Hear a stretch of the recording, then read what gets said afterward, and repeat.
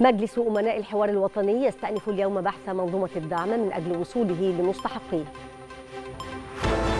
ثلاث قواعد عسكرية إسرائيلية تحت صواريخ حزب الله وإصابات في هجوم صاروخي على الطيرة بشمال إسرائيل. في ذكرى الوعد المشؤوم جامعة الدول العربية تدعو مجلس الأمن للضغط على إسرائيل لوقف عدوانها. الثالثة مساء بتوقيت القاهرة الواحدة ظهرا بتوقيت جرينتش. نشرة إخبارية مفصلة تأتيكم من التلفزيون المصري فمرحبا بكم.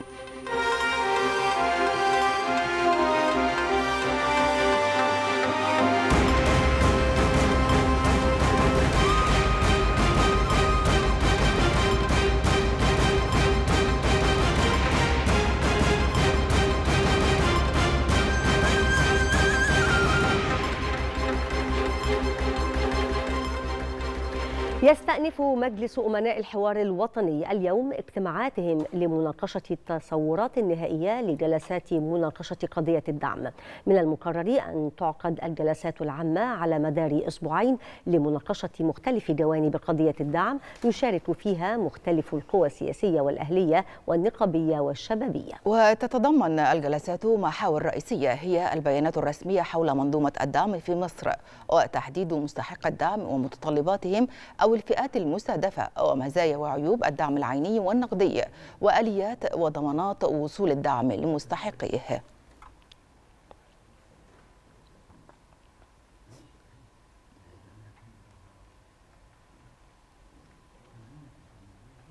رفعت وكالة فيتش العالمية التصنيف الائتماني طويل الأجل من بي سالب لمصر إلى نظرة بي مستقبلية مستقرة.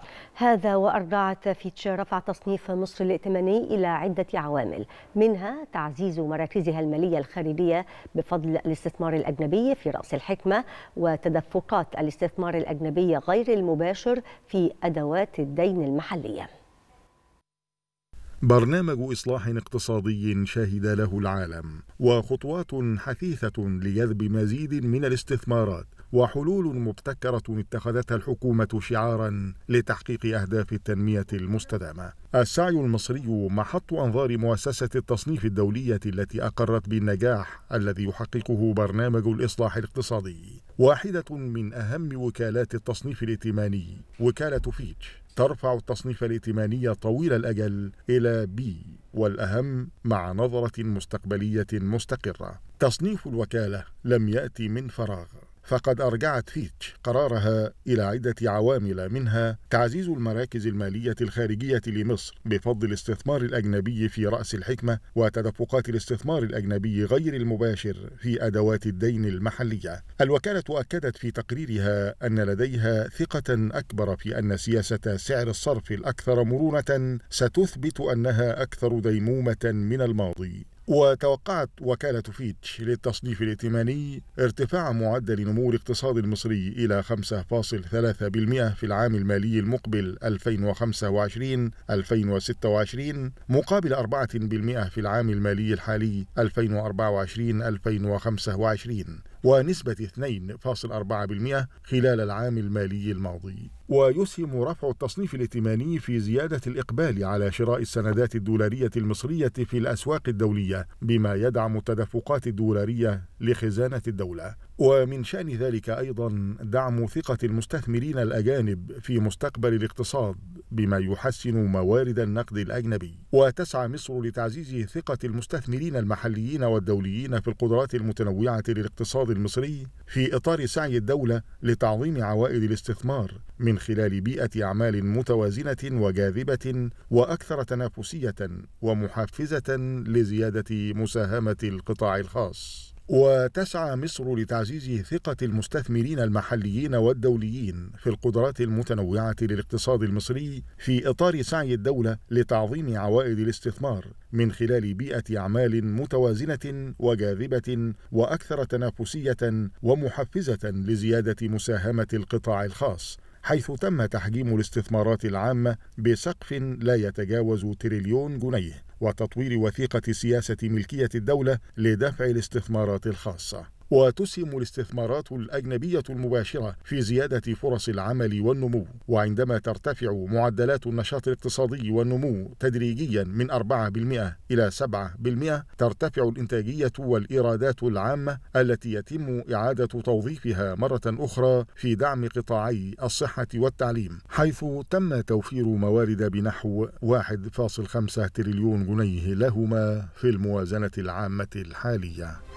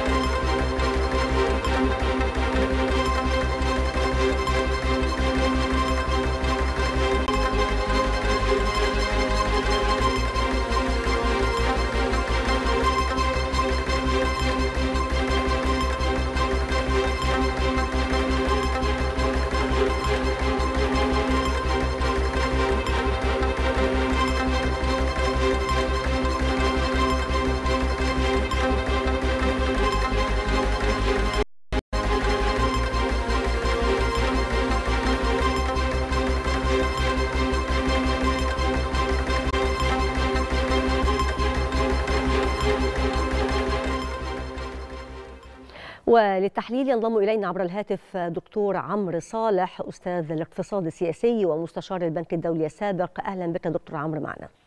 أهلا بك مساء الخير عليكم وعلى كل مشاهدينك واهلا بك أهلا بك دكتور عمرو. يعني دكتور عمرو في عجالة كده تفسير بسيط ومختصر للسادة المشاهدين ما معنى رفع التصنيف الائتماني للاقتصاد المصري من نظرة بي minus إلى B مع نظرة مستقبلية مستقرة. صحيح. ده قرار كان مهم جدا أو تقييم مهم جدا لكن خلينا قبل ما نتكلم على تأثير القرار أو مستجدات القرار خلينا نفهم بالساده المشاهدين يعني إيه تصنيف ائتماني. التصنيف الائتماني بيجي من وكالات التصنيف الائتماني ودي شركات هي شركات طبعا خاصة كبيرة بتصنف أو بتعرف كالمؤسسات الدولية لها صيت ولها مصداقية على المستوى العالمي وتقوم بتصنيف أو بتقييم بتقييم حاجة اسمها الملاءة المالية للدول وعلى أساس هذا التقييم زي الامتحان بالظبط بتدي درجة للملاءة المالية، الملاءة المالية يعني إيه؟ يعني قدرة الدولة وملاءة الدولة ومدى قدرة الدولة على إنها يكون عندها reserves أو احتياطيات من النقد الأجنبي توازي الديون اللي موجودة عندها. عشان ده سؤال مهم ودي نقطة مهمة تتحدث عنها الدوائر اللي ممكن ما تكونش عارفة القرار أو تكون لها أغراض معينة. وطبعا أنت فاهم أنا بتكلم على إيه. نعم. إن في ديون على مصر وإن مصر مستدينة وإن ديونها تعدت الحدود المسموح بها لكن النهارده مؤسسة دولية زي مؤسسة فيتش أو ستاندرد بور أو موديز جميع المؤسسات اللي بتتعامل مع مصر إنها ترفع هذا التقييم وتعطي ملاءة مالية مستقر مستقر دي نقطه تشير إلى إن مصر قادرة على إنها تتجاوز الصعوبات المالية الإقليمية اللي ألمت بها جراء الأحداث بالتالي بالتالي يا دكتور عمرو تأثير ذلك على الاقتصاد المصري وعلينا كمواطنين إن كان له تأثير على المواطنين في الشعور بأن هناك تغير ما في الاقتصاد. هو هو ليه تأثير؟ اولا هو ده أول تقييم من 2019 يتم في رفع التصنيف الائتماني من 2019 آه وده معناه إن إحنا ماشيين على الخطوات الصحيحة في الاصلاح الاقتصادي رغم صعوبة الاصلاح الاقتصادي. حلم ال 100 مليار ال 100 مليار دولار استثمارات أجنبية مباشرة إن إحنا نجيبها خلال ست سنوات المعدل السنوي 15 مليار. ده تأثيره. التأثير مش هيبان بصورة مباشرة لكن كل ما تجي استثمارات خارجية أجنبية زي 15 مليار كل سنة ده هيساعد المستثمرين وهيدي ثقة للمستثمرين اللي محتاجين أو عايزين يستثمروا في مصر إنهم يجي يستثمروا. وبالتالي تأثيره عشان أرجع لسؤالك على الوظائف وعلى فرص العمل وعلى الاستثمارات وعلى زياده النقد الأجنبي وعلى الصادرات. كثيره جدا على كل مؤشرات الاقتصادية. لأن الدولة المصرية الحقيقة في خلال السنة الماضية يمكن بتحاول بشتى الطرق إنها تعزز ثقة المستثمرين الأجانب بالذات في قدرات الاقتصاد المصري وتعزز تنافسية هذا الاقتصاد ومع الإجراءات سعر الصرف المرن والإصلاحات الاقتصادية والرخصة الذهبية. كلها الحقيقة إصلاحات بتنم على إن الدولة المصرية ماشية في الاتجاه الصحيح. والنهاردة التقييم بتاع ستاندرد بور أو بتاع فيتش الحقيقة مهم جدا عشان يؤكد يؤكد إن الإصلاحات المصرية رغم صعوبتها على المواطن المصري إنما ليها نتيجة إيجابية على المؤشرات الاقتصادية. أشكرك جزيل الشكر دكتور عمرو صالح أستاذ الاقتصاد السياسي ومستشار البنك الدولي السابق. أفادت وكالة أنباء رويترز نقلا عن مصدر أمني أن ما يشتبه أنها قوة بحرية إسرائيلية نزلت في بلدة البترون الساحلية شمال لبنان في ساعة مبكرة من صباح اليوم واعتقلت شخصا دون ذكر مزيد من التفاصيل. وفي وقت سابق أعلنت شرطة الاحتلال الإسرائيلية أن 19 شخصا قد أصيبوا في منطقة شارون بوسط إسرائيل وجرى نقلهم إلى المستشفيات لتلقي العلاج بعد إطلاق ثلاثة صواريخ من لبنان في وقت مبكر صباح اليوم. كانت خدمة الإسعاف العامة ذكرت في وقت سابق أن سبعة أشخاص في بلدة الطيرة بوسط إسرائيل أصيبوا بجروح.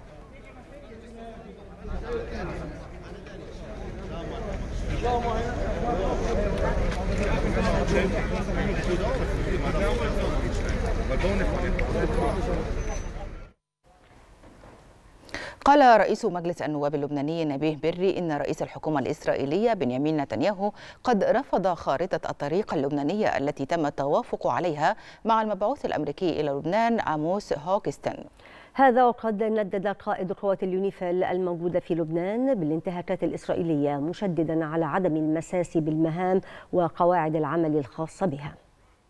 بعد جولات الوساطة الأخيرة يبدو أن جميع الآمال تتلاشى في التوصل إلى اتفاق يفضي لوقف العدوان الإسرائيلي على لبنان وأن الرهان الحالي سيعتمد بشكل أو بآخر على الانتخابات الأمريكية. تعنت الجانب الإسرائيلي واختياره المضي قدما في توسيع الصراع في المنطقة ومواصلة الهجمات على البلدات الجنوبية اللبنانية امتدادا إلى الضاحية الجنوبية لبيروت للضغط على الحكومة اللبنانية وحزب الله للتسليم بشروطه.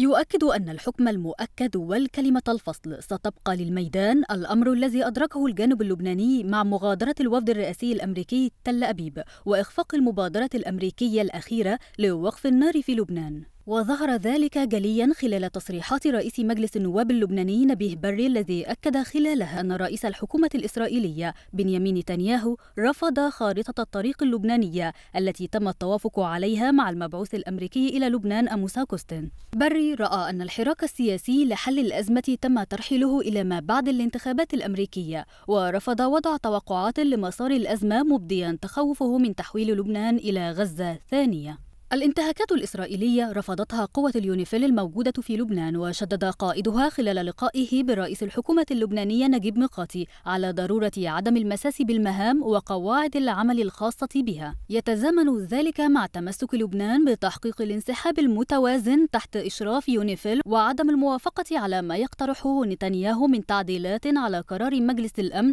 رقم 1701 بهدف إنهاء الحرب بين إسرائيل وحزب الله في جنوب لبنان عام 2006 وعلى الصعيد الميداني جددت إسرائيل عدوانها على المناطق اللبنانية مهددة بشكل متكرر سكان مدن وقرى بأكملها بالاستهداف المباشر وجميعها مؤشرات تؤكد رفض تل أبيب كل المساعي التي تبذل لوقف إطلاق النار.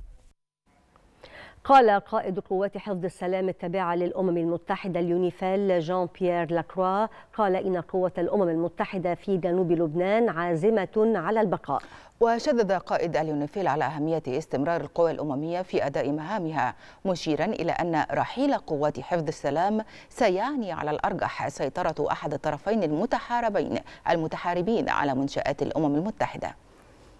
لقد حان الوقت لوقف إطلاق النار في لبنان. هذا واضح تماما. ونعم هناك جهود دبلوماسية لتحقيق هذا الهدف. لست متأكدا من أننا وصلنا إلى هذه النقطة بعد بالنظر إلى التصريحات الأخيرة الصادرة عن مختلف الأطراف. لكن تلك الجهود مهمة جدا. نحن ندعمهم. إن جنود حفظ السلام التابعين لليونيفيل باقون وهم صامدون على الخط. وهم مصممون على مواصلة القيام بما تم تكليفهم به. الأمر المهم للغاية هو أن قوات حفظ السلام اليونيفيل تحظى بدعم ساحق من الدول الأعضاء. أكدت الجامعة العربية أن إعلان بلفور يأتي بهذا العام مع استمرار نكبة الشعب الفلسطيني ومعاناته وحرمانه من حقوقه حيث يتعرض لجريمة إبادة لجريمة إبادة جماعية منذ ما يزيد على العام في قطاع غزة وفي الضفة الغربية المحتلة أيضا. وطالبت الجامعة العربية مجلس الأمن والمجتمع الدولي وجميع الدول الفاعلة بتحمل مسؤولياتها والضغط على إسرائيل لوقف العدوان الإسرائيلي وإلزامها بإدخال جميع المساعدات الإنسانية التي تلبي احتياجات أهالي قطاع غزة داعيا بريطانيا وجميع الدول التي لم تتخذ بعد هذه الخطوة بالاعتراف بالدولة الفلسطينية. دعما للسلام وفق رؤية حل الدولتين مؤكدة أن السلام الشامل والعادل والدائم له طريق واحد عبر إنهاء الاحتلال الإسرائيلي لكافة الأراضي الفلسطينية والعربية المحتلة منذ العام 1967 وإقامة الدولة الفلسطينية المستقلة عاصمتها القدس الشرقية وفقا لمقررات الشرعية الدولية ومبادرة السلام العربية.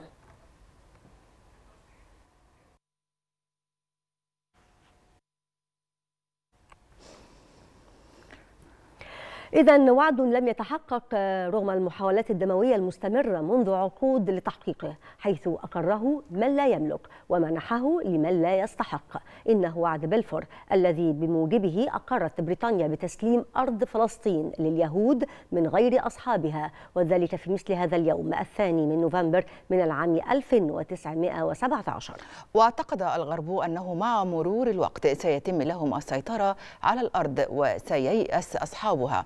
إلا أن ما حدث كان العكس تماما فلم يتسبب لهم الأمر رغم ما وفره لهم الغرب من دعم وحماية ومساعدات عسكرية ومادية ولم تخمد الثورة ضد الاحتلال الإسرائيلي ليوم واحد. قادها الشعب الأعزل وخاضها بإصرار وإيمان عميق. رافضا مغادرة أرضه مفضلا أن يموت على ترابها. مكذبا وعد بيلفور ومصدقا لوعد الله الحق الذي لا يخلف الميعاد.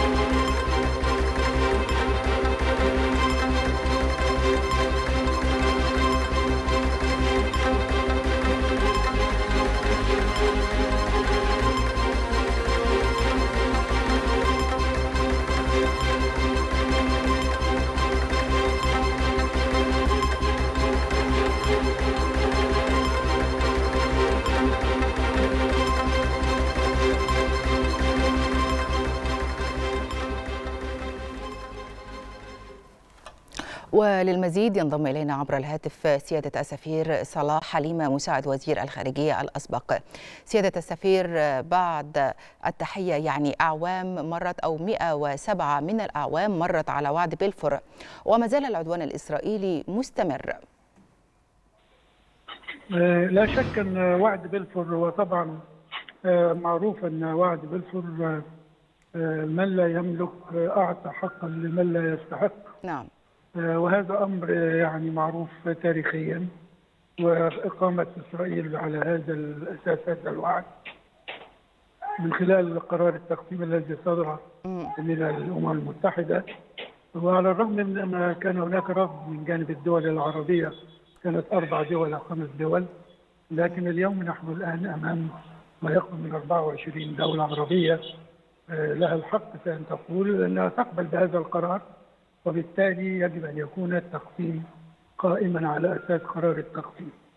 النقطة الأخرى أن إسرائيل بدأت يعني كدولة صهيونيه وليست يهودية. نعم. اليهود مختلفون عن الصهاينة نعم. وبالتالي المخطط الصهيوني ما زال قائما وللأسف الشديد لم يعد اليوم يعني يعترف بدولة فلسطينية وإنما يسعى إلى تصفية القضية الفلسطينية جغرافيا بضم الأراضي الفلسطينية وديموغرافيا وديموغرافيا نعم. بإخراج الفلسطينيين من ارضهم وهذا هناك إجراءات كثيرة اتخذتها إسرائيل في هذا الصدد على مدى 75 عاما في الضفة الغربية وحاليا في قطاع غزة منذ السابع من أكتوبر.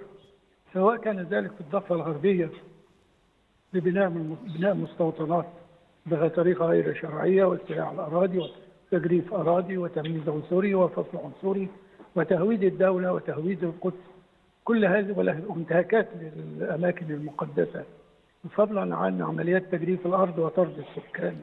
وهي كلها تعتبر نوع من أنواع الإرهاب لأنها تتم من خلال الدولة الرسمية. فإسرائيل في هذا الصدد هي دولة تمارس إرهاب الدولة وفي نفس الوقت تتهم حماس بالإرهاب. نعم. أيضا مخالفتها لكافة القرارات والقوانين والمواثيق الدولية ذات الصلة يجعلها دولة مارقة لأنها لا تحترم النظام الدولي ولا تحترم قرارات الأمم المتحدة. بل بالعكس اليوم هي ممثلة كدولة أمام محكمة العدل الدولية وقادت إسرائيل ممثلين أمام محكمة الجنايات الدولية مما يؤكد أن هناك جرائم هناك جرائم ارتكبت سواء كانت ضد الإنسانية أو جرائم حرب ومن المؤكد أنها سيتم ادانتها. يعني في نفس الوقت أن الموقف الدولي سواء من جانب دول أو منظمات إقليمية ودولية أو من جانب شعوب العديد من دول العالم اليوم تقف داعمة للقضية الفلسطينية ولحق ولحق فلسطين فان تكون دولة عضويه كاملة في الأمم المتحدة. سيادة السفير يعني مع بعد مرور هذه السنين الكثيرة جدا هل نجح الغرب بالفعل في تصدير كرة النار بعيدا عنهم في ضوء القلاقل والتظاهرات التي نراها تضامنا الآن مع الفلسطينيين وفلسطين؟ لا شك أن الدور الغربي كان له دور مؤثر وفاعل ولكن بشكل سلبي. نحن نعلم أن العلاقة بين إسرائيل والولايات المتحدة الأمريكية هي علاقة تقوم على شراكة استراتيجية أساسها التعاون الاستراتيجي. نعم. الولايات المتحدة تعتبر حاضنة سياسية وعسكرية وأمنية ومادية وإعلامية لإسرائيل. وبالتالي هذا التحالف الاستراتيجي كأن الولايات المتحدة هي إسرائيل وإسرائيل هي الولايات المتحدة. بغض النظر عما يقال من وجود لوبي أو غير لوبي المسألة واضحة ولا تحتاج. بل هناك دول غربية أخرى على سبيل المثال ألمانيا وفرنسا لحد ما تسير في نفس الاتجاه. لكن لكن هناك دول أوروبية أيقنت وأدركت أن هناك مظالم هناك حقوق أهدرت ومظالم وقعت للشعب الفلسطيني. ويجب أن نوقف هذه هذا الإدار وأن نرفع هذا الظلم.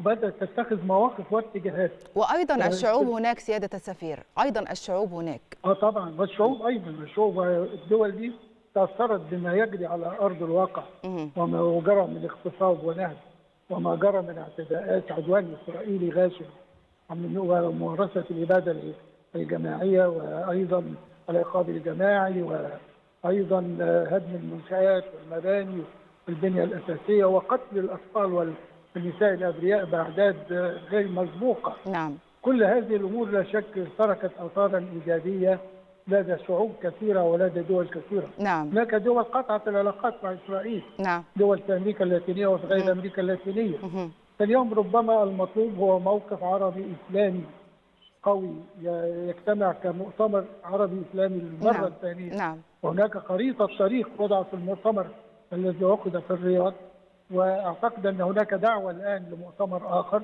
قمة عربية إسلامية يشارك فيها المجتمع الدولي خاصة من جانب دول غربيه وغير غربية اتجهت الآن نحو دعم القضية الفلسطينية نعم بالفعل. نحو تأكيد حقوق الشعب الفلسطيني. نعم سيادة السفير صلاح حليمة مساعد وزير الخارجية الأسبق شكرا جزيلا لك. صاحب الأرض. منذ الحرب الإسرائيلية على قطاع غزة في السابع من أكتوبر الماضي ولا يزال أهالي قطاع غزة ينزحون من مكان لآخر بحثا عن مأوى لهم يوفر لهم احتياجاتهم الأساسية بعيدا عن القصف الإسرائيلي. هذا ويعيش المتضررون في مدارس القطاع بين شح الماء والطعام وانعدام الرعاية الصحية لتكتمل المأساة بالحصار الخانق الذي تفرضه قوات الاحتلال على شمال القطاع. طلعنا من معسكر جبالي على منطقة غرب غزة وما فيش مكان آمن وطلعنا تحت القصف والمكان يعني آه، غير لائق للسكن. وهناك فيش مو فيش أي مساعدات موجودة ولا في أكل ولا في أي شرب ولا في أي طعام ولا أي ماء. والوضع صعب جدا مأساوي. الناس ذابت الناس ماتت من الجوع لا اكل لا ماء ولا شراب. ما- سياره المية إلا من الصبح من امبارح بالليل. لما تم تنسيق عشان نجيب سيارة مية للناس. لحتى الآن الناس بدون أكل بدون شرب بدون صرف صحي بدون أي أي مقومات للحياة. يعني الوضع سيء سيء للغاية. معناش ولا شيء ما نايمين على الأرض الليل طول الليل نايمين على الأرض. والبنت صغيرة اقسم بالله عمرها شهر ما ما أخذنا لها ولا حاجة ولا علبة حليب ولا ولا شيء وهي طول اليوم مرمية على الأرض. فيش شيء نقعد عليه. شوف فيش عبينا صور لهم فيش فيش إحنا معبين بكاسات أجت المي مفلترة معناش حاجة نعبي فيها مي مفلترة قاعدين. ولا عارفين نغسل ولا عارفين نشرب ولا عارفين حاجة. كل يوم هوب يا خشوا اليهود بدنا ننزح. كل يوم وإحنا بدنا ننزح. والله الزق أكد مدير مكتب برنامج الأغذية العالمي في برلين مارتن فريك أن البرنامج لا يمكن أن يحل محل وكالة الأمم المتحدة لإغاثة وتشغيل اللاجئين الفلسطينيين الأونروا في قطاع غزة. وأوضح أفريكا أن الأونروا تطلع بمهام أساسية لا يستطيع البرنامج تنفيذها كإدارة ملاجئ الطوارئ والمدارس والمراكز الصحية. وأشار أفريقيا إلى أن الأونروا تع- تعتبر العمود الفقري للمساعدات الإنسانية في غزة حيث تقدم الغذاء والحماية والرعاية الطبية للسكان الذين يعانون من ظروف غير إنسانية. وأكد أن الأوضاع الإنسانية في غزة تتطلب استجابة شاملة مشددا على أن حظر الأونروا سيؤدي إلى حرمان الأهالي من آخر مواردهم في ظل الأزمة المتفاقمة في قطاع غزة منذ أكتوبر من عام 2023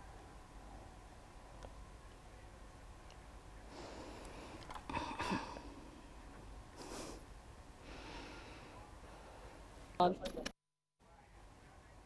ذكرت وكالة بلومبرج الأمريكية أنه من المقرر أن تطرح الحكومة الإسرائيلية على الكنيسة قريبا ميزانية عام 2025 والتي تتضمن زيادة باهظة في الإنفاق على الحرب وأعباء ضريبية جديدة. أضافت الوكالة أنه من المقرر أن يتم عرض خطة الإنفاق البالغة 163 مليار دولار على الكنيست للموافقة عليها.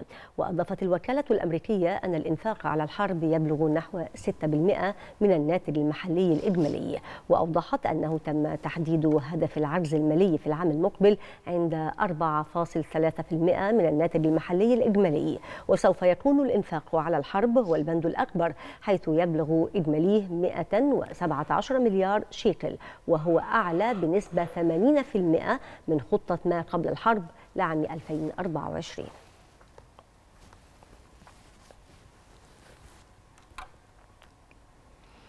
تتولى بريطانيا رئاسة مجلس الأمن التابع للأمم المتحدة لشهر نوفمبر الجاري. وفي مؤتمر صحفي في نيويورك حددت سفيرة بريطانيا لدى الأمم المتحدة الأولويات وسط ما وصفته بالوقت الصعب من الصراع العالمي غير المسبوق مؤكدة على دعم بلادها لوقف إطلاق النار وحل الدولتين كأساس للسلام الدائم في الشرق الأوسط. المطاف فإن الطريقة الوحيدة لتأمين ليس فقط وقف إطلاق النار الفوري ولكن أيضا وقف إطلاق النار الدائم هي حل الدولتين. ولتحقيق هذه الغاية يتعين علينا بطبيعة الحال أن نفكر في المسار المتاح لإعادة بناء غزة كجزء من دولة فلسطينية قابلة للحياة بما في ذلك القدس الشرقية وبقية الضفة الغربية. تعيش جنبا إلى جنب مع إسرائيل. قال سفير اليابان لدى دولة فلسطين يوئيتشي ناكاشيما قال إن اليابان تدرس إمكانية الاعتراف بالدولة الفلسطينية من أجل تحقيق السلام والاستقرار في المنطقة. وأضاف ناكاشيما أن المجتمع الدولي مقتنع أنه لا حل سوى بوجود دولتين فلسطينية وإسرائيلية مشيرا إلى الازدياد الملحوظ بعدد الدول التي اعترفت بدولة فلسطين ما ساهم في وجود رغبة أكبر لدى دول العالم في تحقيق مبدأ حل الدولتين. أنا أعتقد هناك دافع لي ممكن رغبة هناك حماية جدوى حل الدولتين في ظل هذا الظروف. وكذلك يعني تصرفات إسرائيلية يعني كثير منها وهذه الجانب. هاي يعني تمس يعني إمكانية حدوث مثل هذا الإقامة دولة فلسطينية. لذلك ولكن يعني في هاي الاعتراف يعني دولة دولة ما هذا تخص بسيادة قرار سيادي لكل الدول. حاليا اليابان لم تعترف بعد بها. ولكن نحن ننظر إلى هذه المسألة من جوانب مختلفة بما فيها يعني هل هذا من كيفية ممكن تساهم ومساهمة في يعني حل الدولتين. نعم تحقيق السلام أو يعني طريقة إلى يعني حل دولتين.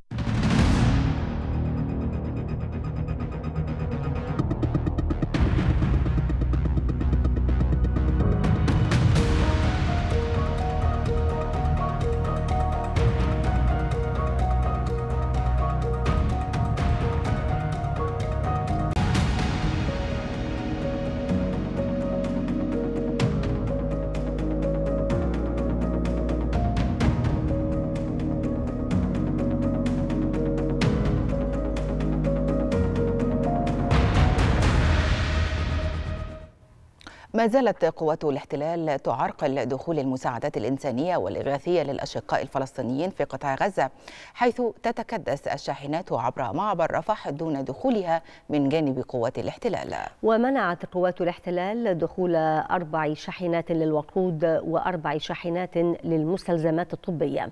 المزيد يطلعنا عليه من العريش الزميل أحمد ممدوح. تحياتي لكم ولكل السادة المشاهدين من مدينة العريش ننقل لكم الصورة الكاملة لموقف المساعدات الإنسانية والإغاثية للأشقاء الفلسطينيين في قطاع غزة حيث ما زالت قوات الاحتلال تعرقل دخول المساعدات الإنسانية والإغاثية في الوقت الذي تتزايد فيه معاناة الأشقاء الفلسطينيين في قطاع غزة وحاجتهم الضرورية لمثل هذه المساعدات سواء مساعدات غذائية أو طبية وغيرها من المساعدات اللوجستية حيث تتكدس تتحدث العشرات يوما بعد يوم بمعبر رفح دون دخولها من جانب قوات الاحتلال.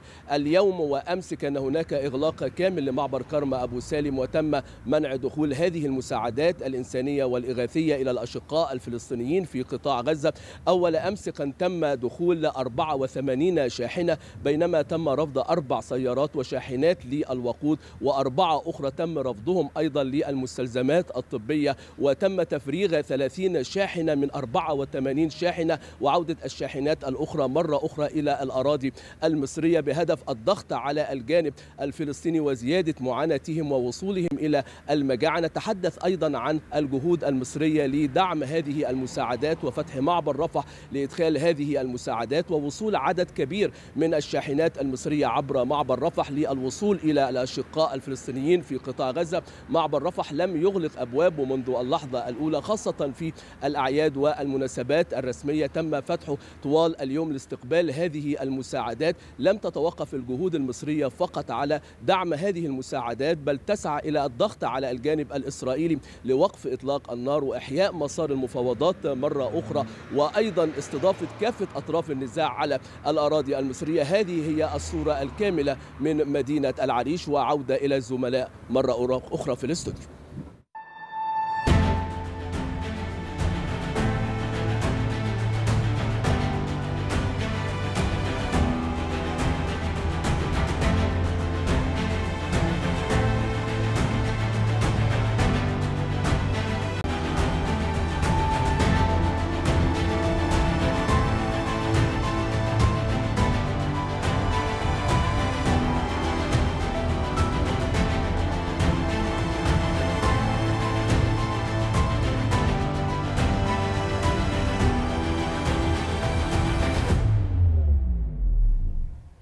يترقب العالم والأوساط السياسية الدولية ما ستسفر عنه الانتخابات الرئاسية الأمريكية المقررة في الخامس من شهر نوفمبر الجاري.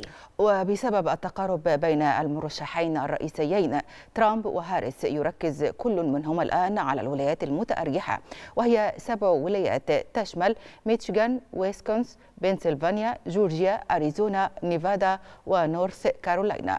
ويمضي المرشحان معظم الأيام الأخيرة في استمالة الناخبين في هذه الولايات. الطريق إلى البيت الأبيض يمر بولايات عدة من أهمها ويسكونسن إحدى الولايات المتأرجحة والتي استضافت تجمعين انتخابيين للجمهوري ترامب والديمقراطية هاريس في مقاطعة ميلواكي. المقاطعة تعد موطنا لأغلبية أصوات الديمقراطيين لكن ضواحيها المحافظة يعيش فيها معظم الجمهوريين وهي منطقة حاسمة بالنسبة لترامب الذي يحاول استعادة الولاية التي فاز بها بفارق ضئيل في عام 2016 وخسرها في عام 2000 2020 وويسكونسن إلى جانب ميشيغان وبنسلفانيا تشكل ما يطلق عليه الديمقراطيون الجدار الأزرق. إذ تعتبر معاقل تاريخية للحزب الديمقراطي. وفي حديثها ركزت هاريس على قضايا الشارع الأمريكي من توفير السكن وخفض أسعار السلع والاستثمار في الشركات الصغيرة. ترامب وهاريس تحدثا عن ملف الشرق الأوسط في مغازلة للصوت العربي حيث أكدت هاريس التزامها بحل الدولتين ووقف إطلاق النار أما ترامب فقال إنه في محادثته الأخيرة مع رئيس الوزراء الإسرائيلي أكد على تحقيق السلام في الشرق الأوسط حال فوزه. استطلاعات الرأي التي أجريت في الأيام الأخيرة تشير إلى أن التصويت المبكر يسجل أرقاما قياسية هذا العام، وفيما يتوقع أن يتجاوز عدد الذين أدلوا بأصواتهم 60 مليون شخص. أظهرت الاستطلاعات تقدم هاريس بنسبة كبيرة بين الناخبين الذين أدلوا بأصواتهم بالفعل على الرغم من ارتفاع عدد الجمهوريين الذين صوتوا مبكرا. وتشير تلك الأرقام إلى أن هاريس ستدخل يوم الانتخابات في الخامس من نوفمبر بفارق كبير ومع اقتراب السباق المحموم من نهايته تتوصل الاستعدادات لتأمينه خاصة بعد الإشارة إلى معلومات ومخاوف من احتمال اندلاع أعمال عنف ذات صلة بانتخابات 2024 وقال حاكم ولاية واشنطن إنه يجهز بعض أفراد الحرس الوطني ليكونوا على أهبة الاستعداد للتدخل. وتعد الولاية واحدة من اثنتين شهدتا إضراما للنيران في صناديق الاقتراع الأسبوع الماضي بمدينة فانكوفر.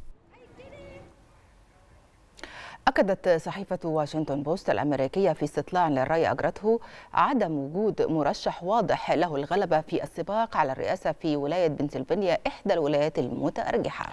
وأوضح الاستطلاع أن نائبة الرئيس كمالا هاريس حصلت على دعم بنسبة 48% بين الناخبين المحتملين بينما حصل الرئيس السابق دونالد ترامب على 47% ووجد الاستطلاع أيضا أن 37% من جميع الناخبين المسجلين في الولاية يصفون اقتصاد البلاد بأنه جيد أو ممتاز وهو ارتفاع طفيف عن نسبة 33% في شهر سبتمبر الماضي.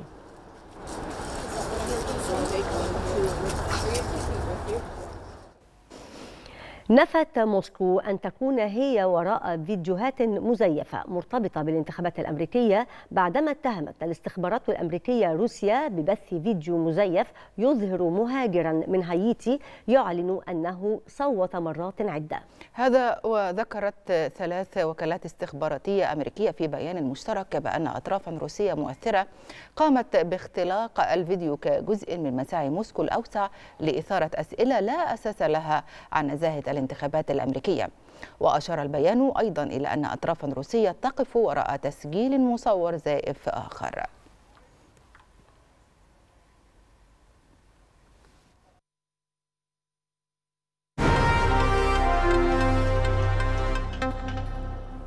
نفى المركز الإعلامي لمجلس الوزراء وجود مخططات لإخلاء دير سانت كاترين تزامنا مع تطوير المنطقة. وأشار المركز الإعلامي لمجلس الوزراء إلى أن هناك تعاونا مستمر ومشتركا مع الدير ما يعكس دعم الجهود المبذولة لحماية التراث الديني والثقافي للدير باعتباره رمزا دينيا وتاريخيا مهما موضحا أنه يتم حاليا تطوير منطقة سانت كاترين بأكملها سعيا لتقديم هذه البقعة المقدسة في أبهى صورة لها تقديرا لقيمتها الروحية وجعلها مزارا سياحيا عالميا.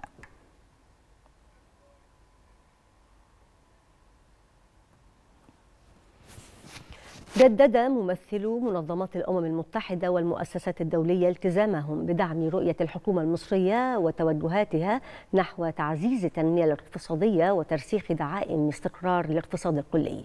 جاء ذلك خلال اللقاء الموسع الذي عقدته وزيرة التخطيط والتنمية الاقتصادية والتعاون الدولي رانيا المشاط مع المنسق المقيم لمكتب الأمم المتحدة في مصر إلينا بانوفا وممثلي نحو 20 وكالة ومنظمة أممية بالإضافة إلى ممثلي البنك الدولي والبنك الإسلامي للتنمية حيث شهد اللقاء استعراضا لإطار التنمية الاقتصادية وإجراءات حوكمة الإنفاق الاستثماري ومناقشة الأولويات المستقبلية لتعزيز تعزيز جهود التنمية الاقتصادية.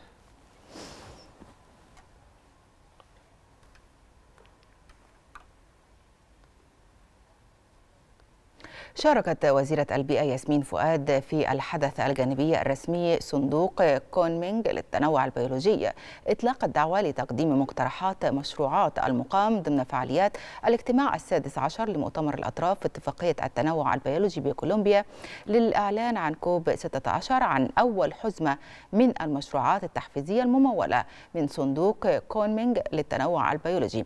وأكدت ياسمين فؤاد وزيرة البيئة أن الهدف الرئيس من هذا الحدث هو إطلاق الدعوة لتقديم مقترحات مشروعات لصندوق التنوع البيولوجي وتشارك مصر في مجلس إدارته مع دول أخرى بمنحة أولية من الصين بقيمة تقدر حوالي 220 مليون دولار أمريكي لتوفير التمويل للدول النامية لتسريع تنفيذ إطار كونمينج مونتريال العالمية للتنوع البيولوجي من خلال نهج يشمل الحكومة والمجتمع.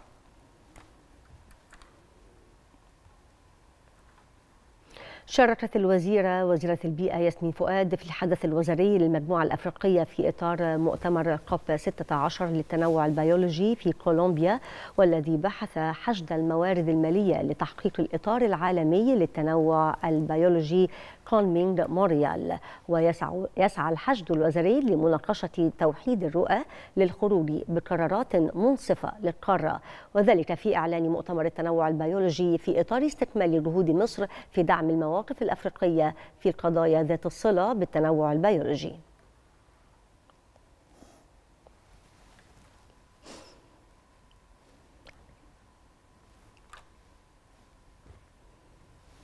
قال وزير التعليم العالي والبحث العلمي أيمن عاشور قال إن مصر جاءت في المركز الأول على مستوى قارة أفريقيا في عدد التجمعات العلمية والتكنولوجية بعدد 11 تجمعا بما يمثل 22% من عدد التجمعات على مستوى القارة.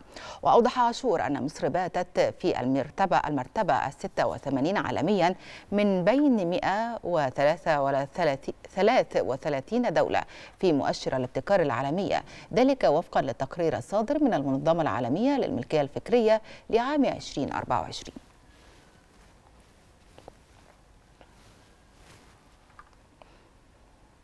أعلن الرئيس التنفيذي لجهاز تنمية المشروعات المتوسطة والصغيرة ومتناهية الصغر باسل رحمي أعلن عن إطلاق الجهاز برنامجا تمويليا جديدا بالتعاون مع منظمة الأمم المتحدة للتنمية الصناعية اليونيدو بهدف دعم الشركات العاملة في مجال الطاقة الشمسية في مصر.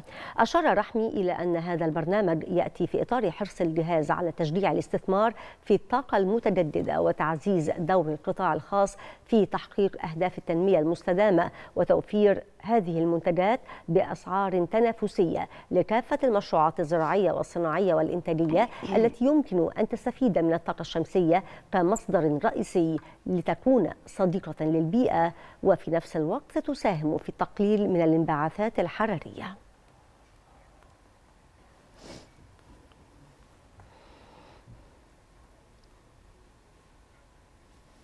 التقى وزير السياحة والآثار شريف فتحي الرئيس التنفيذي مدير مكتب شركة جوجل في مصر هشام الناظر وعدد من مسؤولي مكتب الشركة وقد تم خلال اللقاء بحث سبل تعزيز مزيد من التعاون المشترك بين الوزارة وشركة جوجل خاصة في مجال الترويج السياحي لمصر.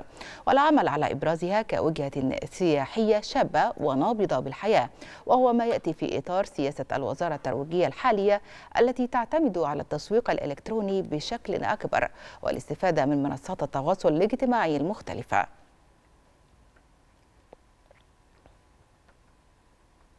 انطلقت مرحلة جديدة من مبادرة الهلال الأحمر المصري بإيدك تنقذي حياة بالتعاون مع التضامن الاجتماعي في ست محافظات. تحت رعاية السيدة انتصار السيسي وتشهد المرحلة الجديدة من المبادرة عقد 24 دورة تدريبية لما يزيد على 700 رائدة اجتماعية في مجال الإسعافات الأولية. تستهدف المبادرة 15 ألف رائدة اجتماعية حيث من المقرر عقد 500 دورة تدريبية في مختلف محافظات الجمهورية كما تنتشر المبادرة في الأماكن العامة بمختلف المحافظات كمراكز الشباب.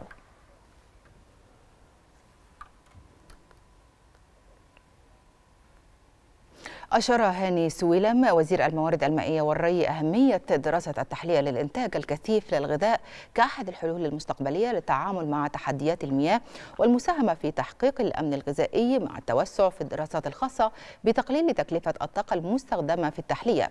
بما يجعل التحلية للإنتاج الكثيف للغذاء ذا جدوى اقتصادية. جاء ذلك خلال لقاء للوزير بوفد إماراتي رفيع المستوى برئاسة رئيس هيئة الطاقة بأبو ظبي عويض المرار بزيارة للجامعة الأمريكية بالقاهرة للتعرف على مكونات مشروع الترابط بين المياه والغذاء والطاقة والنظم البيئية المنفذ بالجامعة.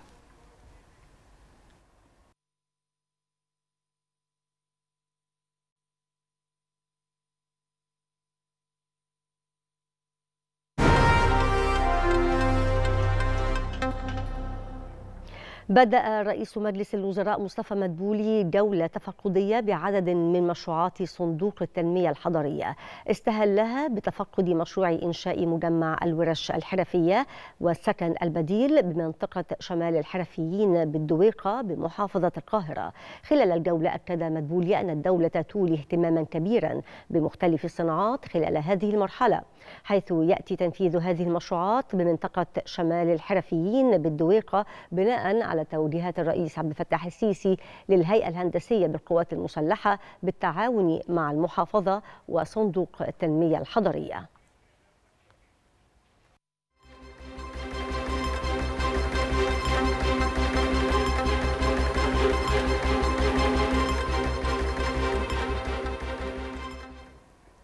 تحول اليوم ذكرى ميلاد الفنان الراحل سامي العدل الذي رحل وترك بصمة بأعماله الفنية التي قدمها وجسد فيها أدوارا مختلفة.